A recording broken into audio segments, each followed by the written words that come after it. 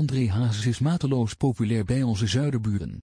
Maar nu al helemaal met zijn deelname aan het Vlaamse tv-programma Liefde voor Muziek en hij hier telkens een prachtige cover neerzet. Dat merkt de zanger zelf ook aan alle lieve berichtjes die hij na de uitzending ontvangt van zijn Vlaamse fans.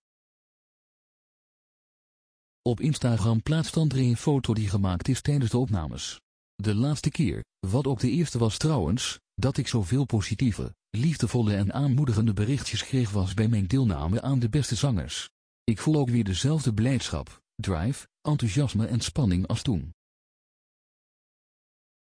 Het is fijn om dit weer te voelen, bedankt Vlaanderen hiervoor, schreef de zanger onder zijn post op social media. Ook deelt hij een aantal van die berichtjes die hij heeft ontvangen. Zo schrijft een Vlaamse fan, tranen in de ogen bij het zien van deze beelden. Heel Vlaanderen heeft ervan genoten. Je bent een grote en iemand om naar op te kijken. Bedankt. In de video hierboven zijn nog een aantal van deze aanmoedigende berichtjes te lezen die André heeft gedeeld. Dit is niet de eerste keer dat de zanger de grens overgaat en te zien is in een Vlaams programma. Zo nam hij al eerder plaats in de bekende rode draaistoelen van de Belgische versie van The Voice Senior.